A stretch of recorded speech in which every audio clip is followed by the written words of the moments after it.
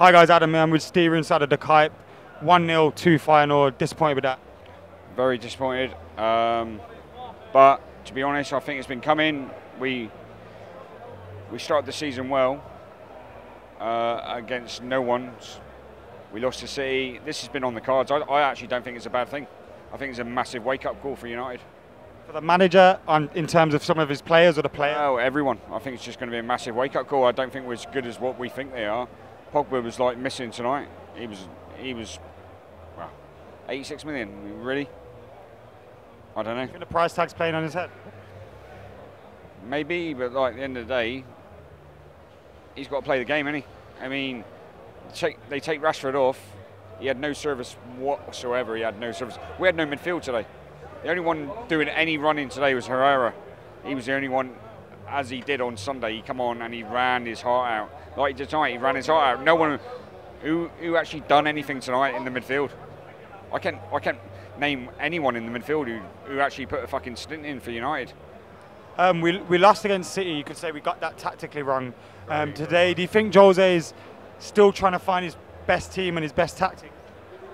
well, obviously that one is best team out there today, was it? So he's obviously trying to give players a chance to prove themselves. And you, know, you can forget about tactics, you can forget about formations and that. We could put any side out there and they should beat that side. Simple. We're Man United. We, we should beat that side hands down. And we were second best.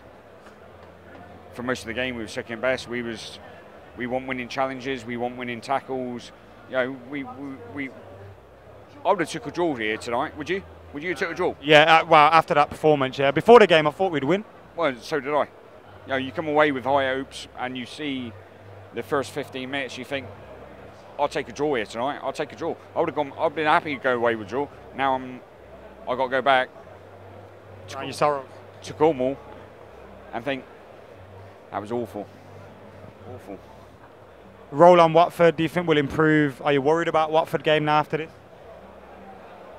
I'm not worried. I'm never worried when United take the side. You know, it's just it's what United turn up. You know, wh- which side he picks and which which United side.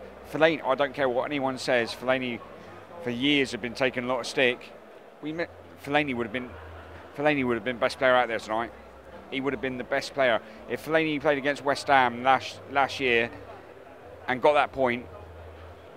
He would he would have got that point because he's the most improved player on the pitch. I don't care what anyone says. He's the most improved player for, for the last six months. He's been absolutely awesome, and he's actually stuck at it, and he's worked hard, and he's. You miss someone like Fellaini tonight, who would have got stuck in.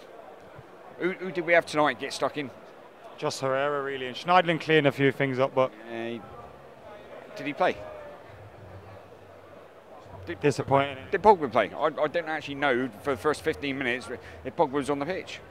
That's how bad it is. You know, you want someone like Fellaini to like take take it by the balls and say, right, let's let's win this game, and that, that would have been a perfect game for him tonight. But obviously he was banned.